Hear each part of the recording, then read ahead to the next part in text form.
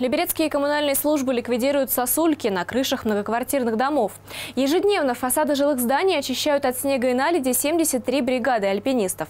Работу управляющих компаний лично проконтролировал глава городского округа Владимир Ружицкий. В городском округе Люберцы более 1200 крыш требуют очистки от снега и наледи. На сегодняшний день сотрудники управляющих компаний завершили эти работы на 700 объектах. Как правило, сосульки появляются на старых домах. В отличие от новостроек, у них нет конструктивных элементов, которые предотвращают образование ледяных глыб. Жалоб действительно много, потому что после обильного снегопада э, появилась, э, пошла, пошла теплая температура и начало образовываться сначала сосульки, а теперь уже и залитие кровель происходит. Э, поэтому в экстренном порядке практически там каждый день по почти круглосуточно происходит работа по очистке крови.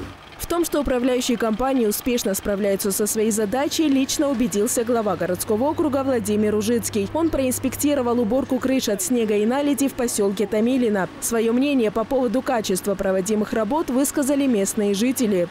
Вы рады. Ну, я смотрю, у вас тут более-менее почищено. Да, у нас или, или плане... только сегодня почищено? Не, не, не. Нет, у нас постоянно чистят регулярно.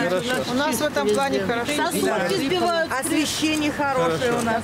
Напомню, что пожаловаться на неочищенные крыши можно несколькими способами. Обратиться в управляющую компанию, позвонить в ЕДС ЖКХ или принять участие в акции «Ледниковый период». Для этого достаточно разместить фотографию опасного объекта в соцсети и поставить специальный хэштег. Луиза Егиазарян, Александр Богданов, телеканал ЛРТ.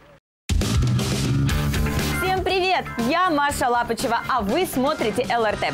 Подписывайтесь на наш канал на YouTube, ставьте лайки и будьте в курсе самых актуальных событий.